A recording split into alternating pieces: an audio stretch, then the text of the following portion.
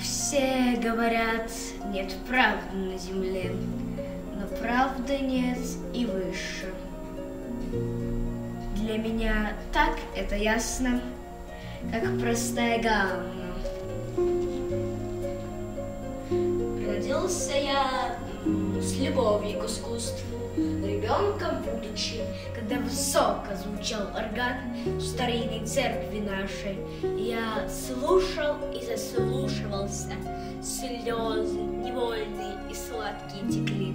Отверг я рано в разные завалы, науки чуждой музыки, были постылы, упрямо и надменно.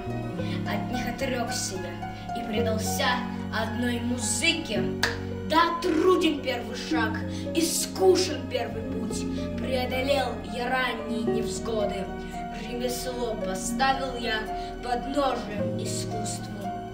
Я сделался ремесленник, я стал творить, но в тишине, но в тайне, не смея пожалеть еще о славе. Нередко, просидя в безмолвной келье, два, три дня, позабыв и сон, и пищу, я сжег свой труд и холодно смотрел, как мысли моя и звуки мною рождены, плая с легким дымом, исчезая. Что говорю, усилием, напряженным постоянством, я, наконец, в искусстве бесконечным достигнул степени высокой, слава мне улыбнулась.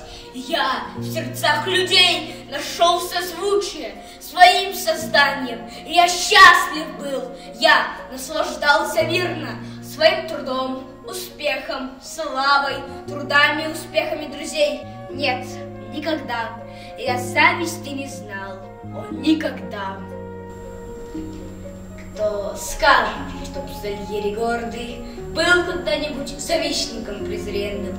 Никто. А ныне сам скажу, я завидую, глубоко, мучительно завидую.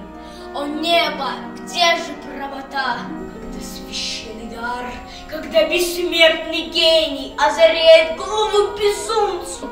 О, Моцарт, Моцарт, неужели он прав, и я не гений, гений и злодейство, две вещи несовместимы.